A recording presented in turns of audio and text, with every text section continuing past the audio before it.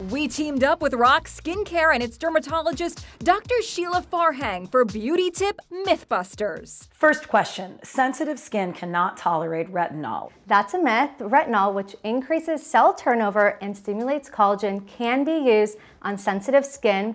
The strength and frequency just needs to be adjusted for sensitive skin types. What about hyaluronic acid? Is it harsh on the skin? That's also a myth. It's not harsh on the skin, even though it has acid in the name. In fact, it's naturally found in our skin and actually helps with skin plumping and hydration. One more myth, the more expensive the product, the better. That's not true. I love RoC Retinol Correxion Max Hydration Cream.